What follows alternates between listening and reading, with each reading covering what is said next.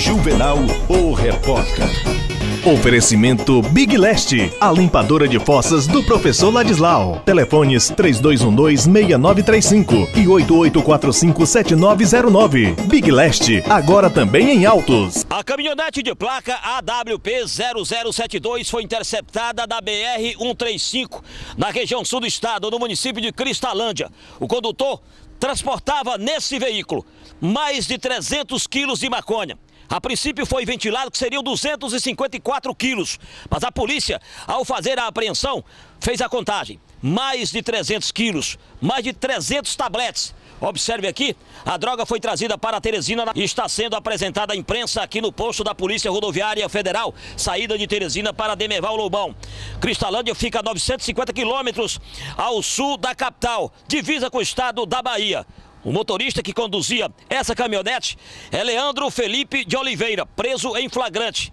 Então a Polícia Rodoviária Federal está lá na BR-135, além de garantir a segurança, evitar acidentes, combater os crimes que ocorrem na rodovia federal.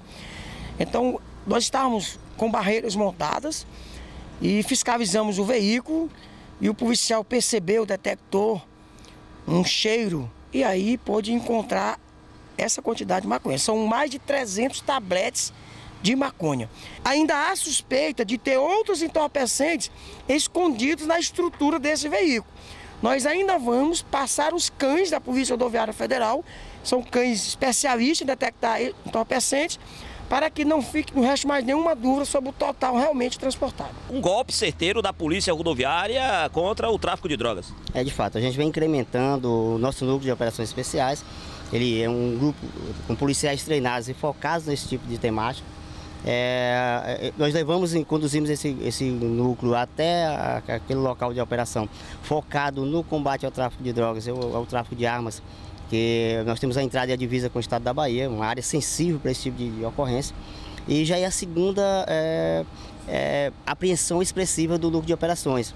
Nós tivemos uma recente com 28 quilos de cocaína e esse grupo vem, vem atuando de forma ostensiva, é, trabalhando com estratégia para que nós possamos ter ações exitosas como essa. A polícia acredita que essa apreensão seja maior até agora, do ano de 2017? Nós acreditamos que sim, no, na quantitativa de, de maconha sim.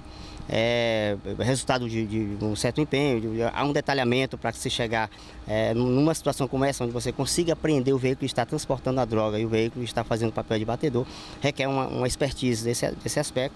E a Polícia Rodoviária Federal vem intensificando esse tipo de trabalho.